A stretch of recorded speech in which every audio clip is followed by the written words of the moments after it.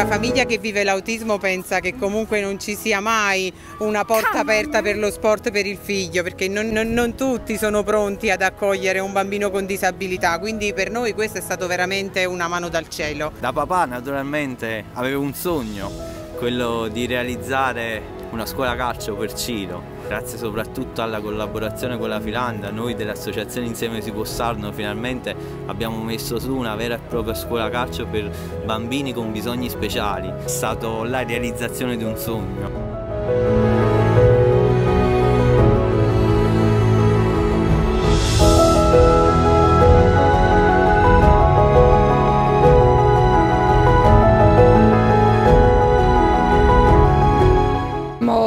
Conosciuto sognando un gol insieme alla Filanda e abbiamo finalmente realizzato un sogno, un sogno per Cristian che lui adora il calcio e grazie ai mister di Sognando un Gol sono stati capaci di insegnargli tante cose, tipo le regole che lui non accettava. Queste attività extra, così come dimostrato dai primi risultati che abbiamo avuto con il nostro progetto Sognando un Gol, eh, sono veramente importanti perché abbiamo avuto modo di toccare con mano il come lo sport in generale, il calcio in particolare, possano attivare eh, e quindi potenziare sia le abilità motorie di base di questi bambini che generalmente sono mh, di per sé compromesse o comunque non in linea con, con l'età di sviluppo, eh, ma in secondo luogo lo sport rappresenta veramente un propulsore importante sul piano sociale. Tiro!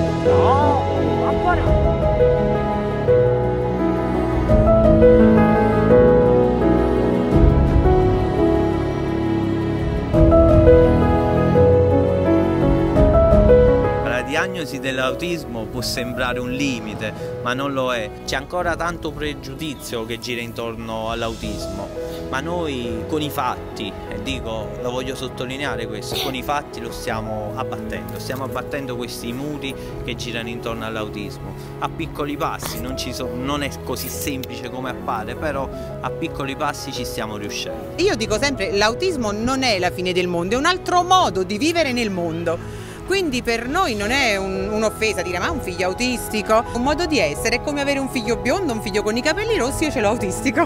Abbiamo battuto i pregiudizi di questa società che non sempre è molto facile per questi ragazzi, anzi spesso ci troviamo le porte chiuse.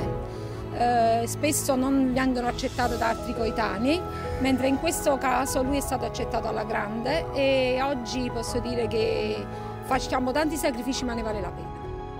Tipo quando io faccio i tiri sono super fortissimo, ma anche quando sbaglio. Ho fatto due gol. Per me è un po' tiramato è solo un mio sogno da piccolino. Per questo è altro. Sono io più forte.